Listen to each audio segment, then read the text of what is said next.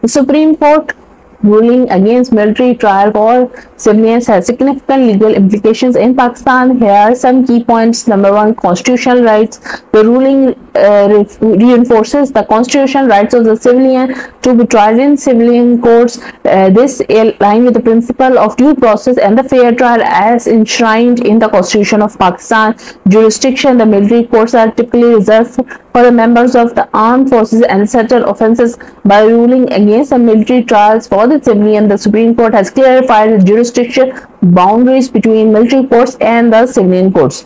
Legal precedents. The decision set by a legal precedent that could impact the future cases government might consider using military courts for civilian. It strengthens the judicial role is upholding constitutional protections Political impact The ruling has political ramifications, especially in the context of high-profile cases involving political figures like Imran Khan. It limits the government ability to use military courts as a tool against potential uh, political opponents. Public perception the, the decision influenced the public perception of the judiciary's independence and its roles in protecting civil liberties. It could also affect the public's trust in the legal system.